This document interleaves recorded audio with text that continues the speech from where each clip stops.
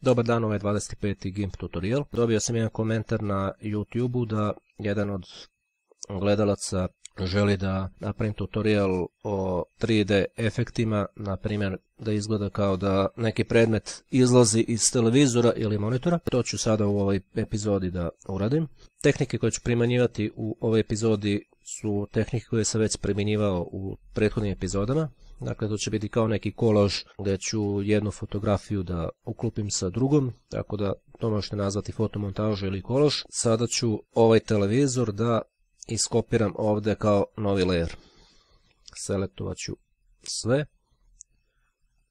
Edit copy i ovdje edit paste. E, dobro, dakle, pošto sam iskopirao ovaj televizor na ovu sliku, kao novi layer, sada ću da, da ovu sliku flipujem sa leva na desno. Evo, to ću da uradim ovako. E, da bi mi se ugao aviona poslagao sa uglom ovog televizora ovdje.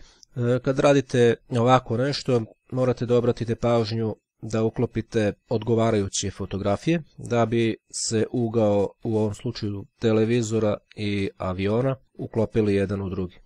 Ne mora to da bude baš potpuno idealno, ali, ali zbog e, nekog osjećaja realnosti zgodno je da bude što približnije.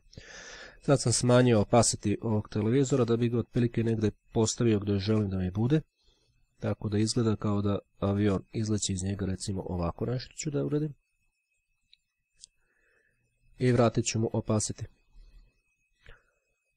sljedeća stvar koju ću da uradim je da ovom televizoru, da leru ovog televizora povećam layer da, da odgovara veličini ove pozadinske slike. E, kliknete na layer i layer to image size. I sada je veličina lera gdje, gdje se nalazi ovaj televizor isti kao i veličina pozadinske slike. Prvo ovom gornjem leru ću dodati layer mask.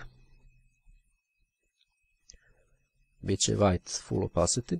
I sada ću po ivicama ekrana ovdje napraviti jednu selekciju. Ni tu ne morate da budete baš 100% precizni.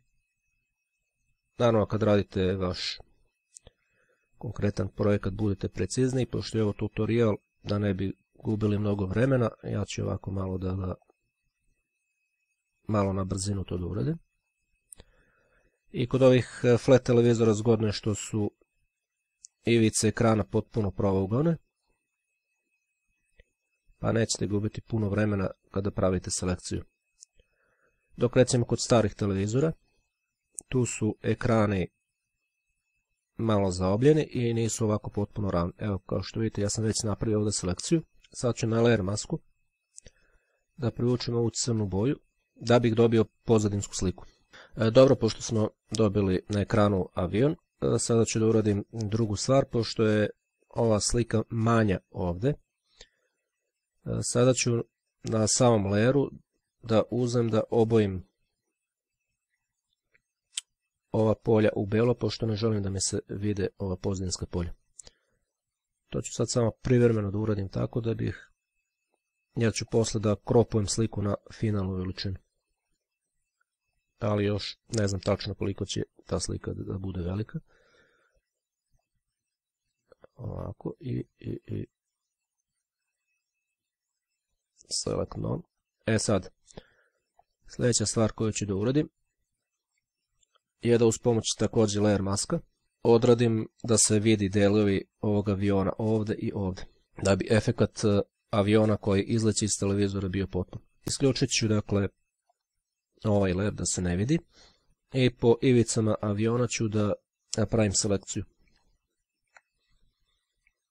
E sad avion je malo zaobljen, tako da će biti malo više posla. Neću ići po konturama celog aviona, već samo po ovom delu što treba da izgleda kao da izlazi iz televizora. Evo, završio sam sa pravljenjem selekcije aviona. I sada ću aktivirati ovaj gornji layer i na layer masku. Dakle, moram da budem siguran da sam kliknuo na ovaj layer mask. E, sada ću da tu prevučem crnu boju. I da bih dobio providnost na ovom delu lera da bi kljun ovdje i ovo krilo ovdje bili izvan granica televizora. da bi izgledalo kao da avion izleće iz televizora.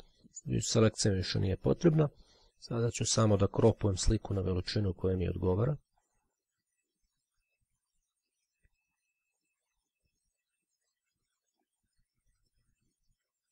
Recimo ovako nešto.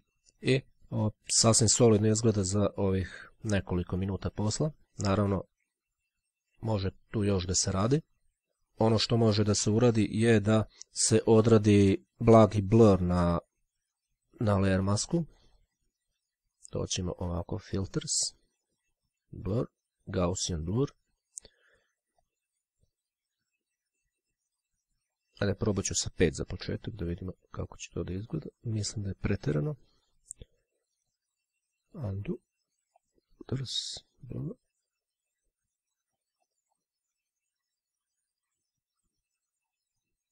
Evo ovo je. Ok. Još što možete da uradite je da ovu sliku stavite u prednji plan, a da u drugi plan stavite, na primjer, neku sobu ili tako nešto, ali za potrebe ovog tutoriala je ovo sasvim dovoljno. Sada ću da učitam druge dve slike koje sam planirao za ovaj tutorial. E, dobro, učitao sam ove dve slike i pošto je slika televizora dosta veća od e, slike vodopada, vidite ovdje slika vodopada je 1024 x 768, televizor je u rezoluciji 3456 x 2304, ja ću da smanjim sliku televizora. 768 scale i sad sam dobio nam je rezolucija televizora 1152 x 768 Sad ću da iskopiram celu ovu sliku, select all, edit, copy i ovdje ću da uradim paste. Edit, paste. I samo ću da pomerim televizor da bude negdje ovdje, s tim što ću gledati da smanjit ću opasiti malo televizora, da ga otprilike namestim na željeno mjesto. E, mislim da ih još malo treba da smanjim televizor, pošto je i dalje dosta veliki. To nije problem. Image scale. Na primjer, neka bude 800 puta 600. 600. Scale. To je 900 puta 600. Edit dakle select all, edit, copy i ovdje ću ga postaviti edit, paste. Ovo već bolje, samo ću da smanjimo pasati ovog floated selekcije i da ga postavim negdje otprilike ovako nešto. S tim što neću da, da napravim da, se, da oba vodopada izlazi iz televizora, već samo ovaj srednji ovdje. Recimo ovako nešto.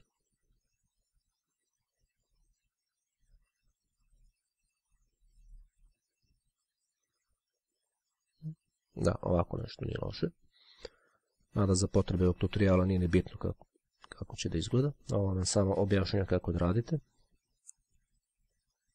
Dakle, sa selektornim ovim floated selekcijom i kliknut ću na new layer da bi ovaj televizor bio pasted kao novi layer. Pošto smo namestili televizor, sada ću da prvo veličinu layera televizora namestim da, da odgovara layeru pozadinske slike. Dakle, sa selektornim ovim layerom gdje je televizor, kliknem na layers i layer to image size. Sada ću da popunim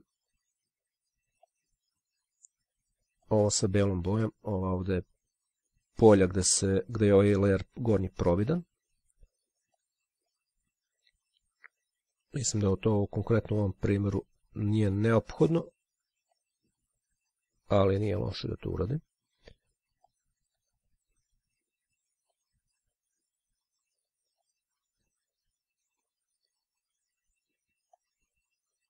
Dobro, select none.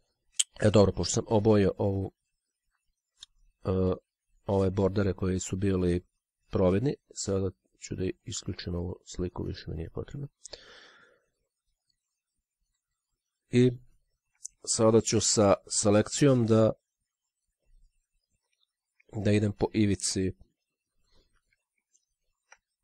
novog ovdje ekrana. Odnosno dodat ću i layer mask odmah. Layer mask, white full opacity.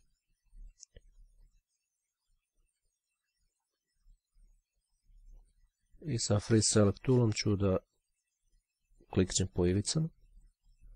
Kao što vidite, više volim da koristim free select tool nego ove makaze koji je u stvari takozvana inteligentna ili pametna selekcija, jer nisam baš zadovoljan time. Ali dobro, možda neko ko je navikao da radi sa tim alatom, slobodno neka radi sa tim alatom. U principu sasvim je svejedno koji alat koristite, važno je da postignete efekat koji ste želili. Sjećam se ovih starih televizora, kad sam bio dete imali smo ovakav televizor. Ja sad ovdje prilično grubo klikćem ovdje, zato što su ovdje zaobljene ivice, trebalo bi da bude više ovih kontrolnih tačaka gdje kliknem, ali nema veze, za potrebe ovog tutoriala ovo je sasvim dovoljno. I sada pošto napravio selekciju na layer masku, dakle kliknut ću ovdje, ovdje na layer mask, prevući ću crnu boju, da bih dobio pozadinsku sliku. Dakle, isto kao i u prethodnom primjeru s onim avionom, sada ću select non, ova selekcija više nije potrebna i sada ću samo da smanjim opacity ovog televizora da bih vidio na pozadinskom layeru šta radim, čak što više isključit ću, nije potrebno ovaj za sad layer. I sada ću da klikćem po ovom vodopadu, jer kao što vidite hoću da mi samo ovaj vodopad ovdje u ovom delu prelazi preko ivice televizora, dakle do ovdje negdje.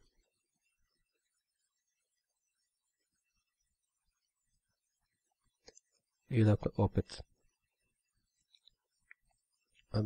kliknut ću na ovaj layer i opet ću raditi sa free select alatom. I kliknut ću po ivicama vodopada. I ovdje ću zahvatiti malo veći deo da bi se vidjela i ova pena ovdje gdje vodopad ulazi u ovu vodu. Ovdje gore i ne morate budete predsjedni zato što se ovaj gornji deo već vidi. Ovaj ovdje deo se već vidi. I sada ću u ovu selekciju također na ovom layer masku ovdje prevući crnu boju. Select non. I kao što vidite dobili smo zanimljiv efekt, s tim što bi ovdje možda bilo bolje da je malo veće, ovaj, da je veće pena, ali dobro. E, s tim što sad sljedeća stvar koju ću da uradim, također ću da uradim blur na layer masku. Filters, blur, Gaussian blur.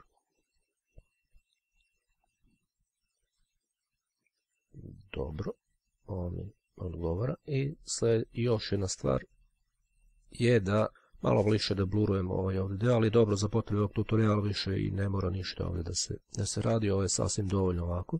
Također i ovu fotografiju možete da, da uklopite u, sa nekom pozadinskom slikom neke sobe ili tako nešto i ovdje da napravite neku baricu ili tako nešto, ali dobro, ovo je samo bio primjer kako napraviti da objekti izlaze iz televizora ili monitora i tako neki, da nazovem kvazi 3D efekti. Sve ove tehnike sam već radio u prethodnim epizodama tutoriala o Gimpu i sad ću učitati obe slike. Dakle, ja se nadam da je korisnik koji je tražio da uradim jedan ovakav tutorial zadovoljan ovim slikama što, što sam dobio. Samo još da ovdje kropujem da bude ovako nešto.